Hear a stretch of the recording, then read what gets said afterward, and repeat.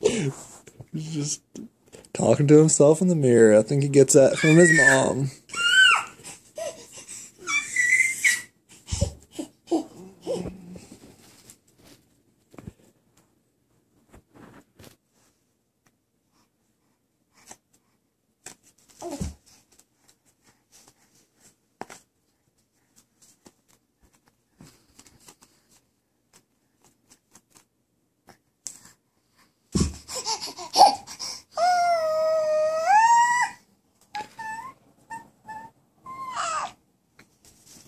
What you doing, bud?